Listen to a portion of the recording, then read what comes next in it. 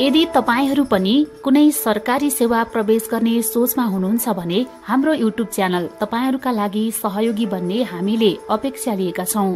निजामती सेवाको शाखा अधिकृत नायब सुब्बा वा खरिदार सुरक्षा निकाय तथा संस्थानहरूको कुनै पनि पदको तयारीका लागि आधारशिला मानिने जीके आइक्यू तयारीका लागि तपाईँहरूसँग हातेमालो गर्ने हाम्रो मुख्य उद्देश्य रहेको छ। हाम्रो प्रयाससँगै तपाईँहरूको सुझाव सल्लाह तथा आवश्यक सहयोगको अपेक्षा राखेका छौं। भनिन्छ पुस्तकालयमा चौबिसै घण्टा बस्दैमा लोकसेवा पास भइँदैन। बरु दिनमा दसवटा मात्रै भरपर्दो माध्यमबाट निरन्तर जानकारी संकलन गर्दा त्यो निकै प्रभावकारी हुन्छ। यथार्थ तरिका बिना एकहोरो रटेको ज्ञान भन्दा विभिन्न व्यक्तिहरू र माध्यमहरूमा छलफल गर्दा त्यो हाम्रो मानसपटलमा लामो समयसम्म रहन सक्छ। त्यसैले आऊ तपाईँ हामी सबै मिली नियमित रूपमा थोरै तर निरन्तर आफूलाई जिके आइक्यूका विषयवस्तुमा अभ्यासरत गराउँदै जाउँ र हरेक दिन गन्तव्यको नजिक हुँदै जाउँ।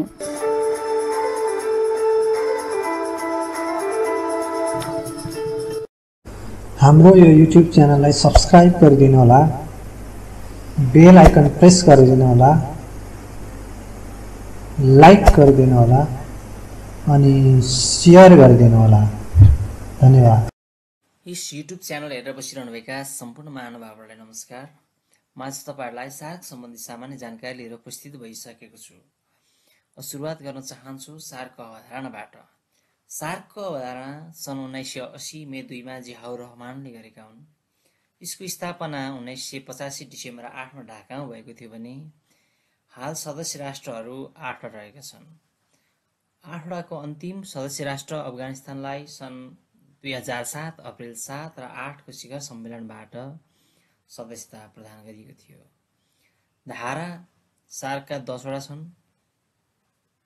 उसिरा मस्ता प्रकाश विसा भनेर सामान्य अगाडि अगाडिको अक्षरबाट एउटा फर्मुला जस्तो याद गर्न सजिलो हुन्छ भनेर राखिएको छ। र उद्देश्य आठवटा छन्। सिद्धान्त तिनवटा। त्यसै गरी भाषा एउटा र अङ्ग पाँचवटा रहेको छ। युएनको धारा बाहन्न अनुसार सारको स्थापना भएको मानिन्छ। र यसका दसवटा धाराहरू के के छन् त हेरौँ। उद्देश्य सिद्धान्त राष्ट्र प्रमुखको बैठक मन्त्री परिषद स्थायी समिति प्राविधिक समिति कार्य समिति सचिवालय वित्तीय व्यवस्था र सामान्य हित गरी दसवटा उसिरा मस्ता प्रकाश विषा रहेका छन्। हालसम्म सम्मेलन भएको हालसम्म सम्मेलन भएको स्थानहरू देश देशको राजधानीहरू रहेको यहाँ उल्लेख गरिएको छ। ढाबेको इमाको ढाँडामा कोक्काई ढाँडाको थिमाकाई। यो तपाईँहरूले अगाडि अल्फाबेट राखेर पनि यसरी याद गर्न सक्नुहुन्छ। कुन शिखर शिखर सम्मेलन कुन देशमा र कुन सहरमा भएको थियो भनेर जानकारी तपाईँहरूलाई यसरी प्राप्त हुन्छ। र राजधानी बाहिर भनेको पहि दोस्रो यो बेङ्गलोर र र सत्रौँ शिखर सम्मेलन भनेको राजधानी बाहिर बसेको शिखर सम्मेलन थियो। दोस्रो र सत्रौँ यो सोध्न सक्छ। राजधानी बाहिर बसेका सार्कका शिखर सम्मेलनहरू कुन कुन हुन् भनेर सोध्न सक्छ? यो दोस्रो र सत्रौँ शिखर सम्मेलन भनेको राजधानी बाहिर भएको शिखर सम्मेलन हुन्। एक दिन मात्र बैठक बसेको छैठौँ शिखर सम्मेलन हो। यो श्रीलङ्कामा उन्नाइस सय एकानब्बे डिसेम्बरमा भएको थियो। साप्टाको सा सातौँ शिखर सम्मेलनले अनुमोदन गरेको थियो भने साप्टालाई सातौँ शिखर सम्मेलन अनुमोदन गरेको थियो। र साफ्टालाई दसौँ शिखर सम्मेलनले अनुमोदन गरेको थियो। साप्टा र साप्टा फरक हुन्। त्यसै गरी रिट्रिट जाने चलन भनेको नौ शिखर सम्मेलनबाट सुरुवात भएको मानिन्छ र सामाजिक बडापत्र बाह्रौँ शिखर सम्मेलनले अनुमोदन गरेको थियो भने अफगानिस्तानलाई चौधौँ शिखर सम्मेलनमा सदस्यता प्रदान गरेको थियो। पर्यवेक्षक राष्ट्रहरू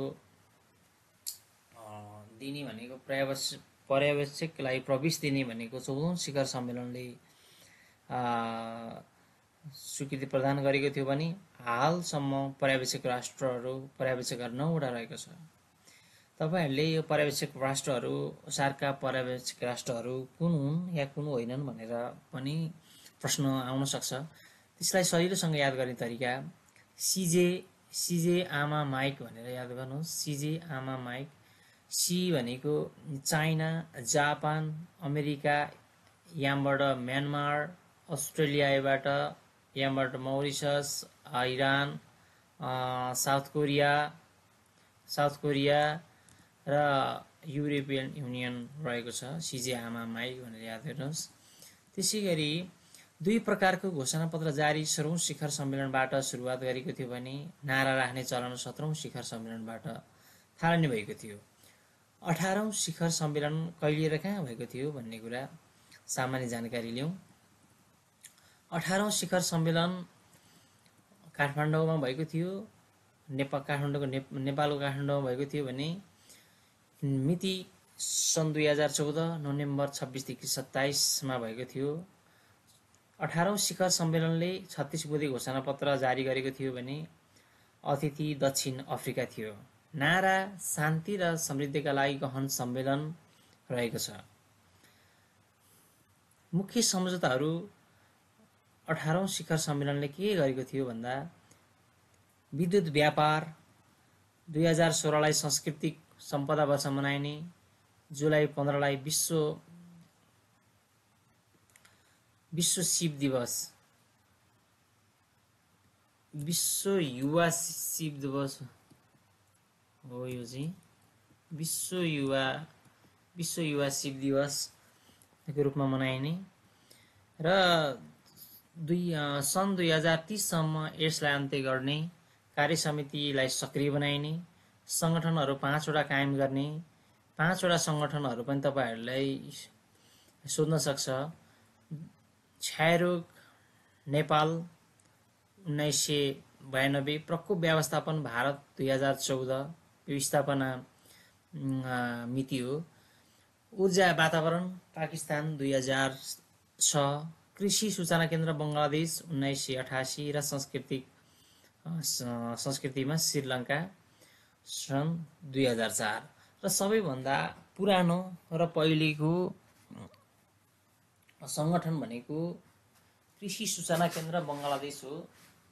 सन् उन्नाइस सय अठासीमा स्थापना भएको थियो भने। यो अब दुई हजार दुई दुई वर्षमा शिखर सम्मेलन हुने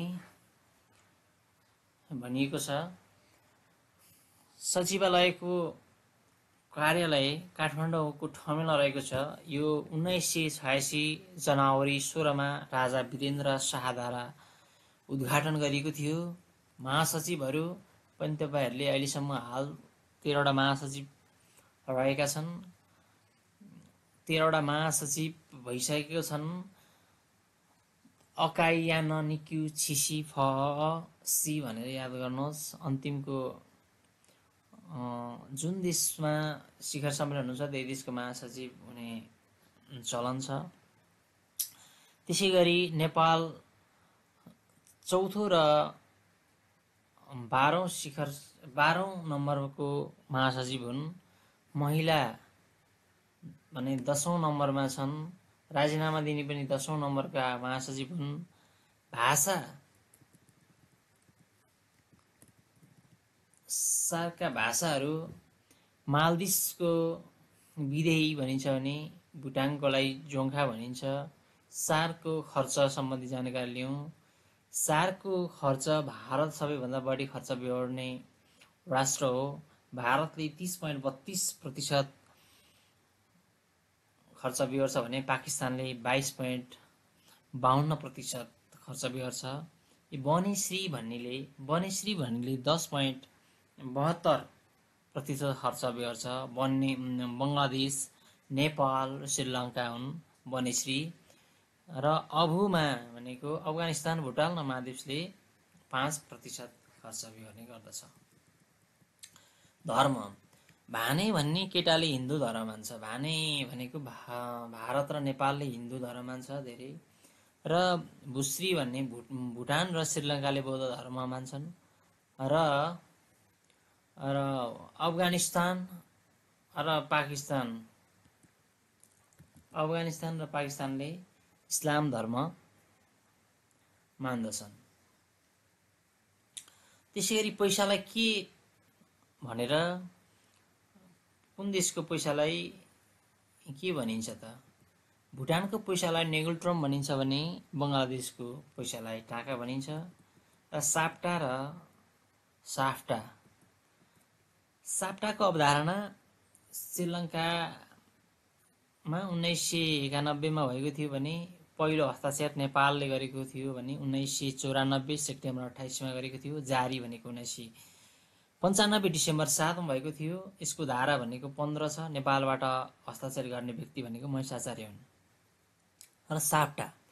साप्टा भनेको यसको हस्ताक्षर दुई हजार चारमा र लागु दुई हजार छमा जनवरी एकबाट भएको थियो भने पूर्ण लागु दुई हजार सोह्र फेब्रुअरीबाट भएको थियो।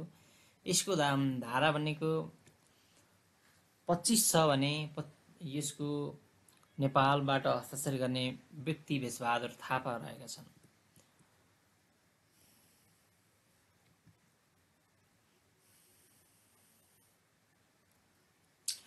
र सार्क राष्ट्रहरू सार्क राष्ट्रहरू युवानोमा प्रवेश कहिले कहिले गरेका हुन् भनेर यहाँ तपाईँलाई सामान्य जानकारी छ।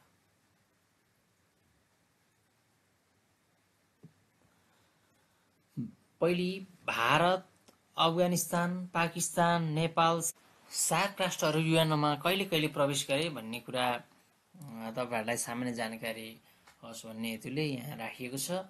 भा पहिले सबैभन्दा अगाडि युएनमा प्रवेश गरेका राष्ट्र भनेको भारत अफगानिस्तान पाकिस्तान नेपाल श्रीलङ्का एकैचोटि र मालदिप्स भुटान र बङ्गलादेश रहेका छन्। भाव पानी श्रीमा भुवङ भाव पानी श्रीमा भुवङ भनेर याद गर्नुहोला। भारत उन्नाइस सय पैँतालिस अक्टोबर तिस अफगानिस्तान उन्नाइस सय छयालिस नोभेम्बर उन्नाइस पाकिस्तान उन्नाइस सय सडचालिस सेप्टेम्बर तिस र नेपाल र श्रीलङ्का एकैचोटि उन्नाइस सय पचपन्न डिसेम्बर चौध मालदिस उन्नाइस सय पैँसठी सेप्टेम्बर एक्काइस भुटान उन्नाइस सय एकहत्तर सेप्टेम्बर बाइस बङ्गलादेश उन्नाइस सय चौहत्तर सेप्टेम्बर तेइस गरी क्रमैसँग युएनमा प्रवेश गरेका थिए। र भारत सबैभन्दा पहिलो युएनमा प्रवेश गर्ने राष्ट्र सार्क राष्ट्र हो भने सबैभन्दा पछि युएनको सदस्यता प्राप्त गर्ने सार्कका राष्ट्र भनेको बङ्गलादेश उन्नाइस सय चौहत्तर सेप्टेम्बर तेइसमा हो। सार्क राष्ट्रहरू नेपालसँगको दौती सम्बन्ध सर याद गर्नुहोला। भाश्रीपा अबमा भू भाश्रीपा अबमा भारत श्रीलङ्का पाकिस्तान अफगानिस्तान बङ्गलादेश मालदिस र भुटान। सबैभन्दा नेपालसँग सार्क राष्ट्र मध्ये नेपालसँग पहिलो सम्झौत पहिलो दौती सम्बन्ध कायम गर्ने राष्ट्र भारत हो भने अन्तिम भुटान रहेको छ। उन्नाइस सय सडचालिस उन्नाइस सय सडचालिसमा भारत र उन्नाइस सय तिरासीमा भुटानले नेपालसँग दौती सम्बन्ध कायम गरेका थिए। क्षेत्रफलका आधारमा सार्क राष्ट्र ठुलाबाट सानो क्रमैसँग राखिएको छ। भापा अनि श्रीभूमा भारत पाकिस्तान अफगानिस्तान सरी नेपाल श्रीलङ्का भुटान र मालदिस रहेका छन्। र जनसङ्ख्याको आधारमा इन्डिया पाकिस्तान बङ्गलादेश अफगानिस्तान नेपाल श्रीलङ्का भुटान र मालदिस रहेको छ। तपाईँहरूले यो क्रमैसँग इन्द्र प्रसाद बोगटीले एन्सर दिँदा ब्लान्डर मिस्टेक गर्यो भनेर याद गर्नु सक्नुहुन्छ। इन्द्र प्रसाद आईबाट इन्द्र इन्द्र पीबाट प्रसाद बीबाट बोगटी एएनएस भनेको एन्सर र बीबाट ब्ल्यान्डर यहाँबाट मिस्टेक भनेर याद गर्न सक्नुहुन्छ। इन्द्र प्रसाद बोगटीले एन्सर दिँदा ब्ल्यान्डर मिस्टेक गर्यो भनेर याद गर्नु सक्नुहुन्छ। जनसङ्ख्या आधारमा सानो ठुलोबाट सानो क्रमैसँग इन्डिया सबैभन्दा सार्काष्टको सबैभन्दा ठुलो जनसङ्ख्या भएको राष्ट्र रहेको छ भने सबैभन्दा थोरै जनसङ्ख्या भएको राष्ट्र भनेको मालदिप्स रहेको छ। ल्यान्ड अफ गोल्डन फाइबर भनेर पाकिस्तानलाई चिनिन्छ। ल्यान्ड अफ आइरन भनेर Afghanistan land of iron Afghanistan पूर्वको भेनिस भारत पूर्वको मोती श्रीलङ्का भ्याट लागू गर्ने राष्ट्र सरी पाकिस्तान रहेको छ।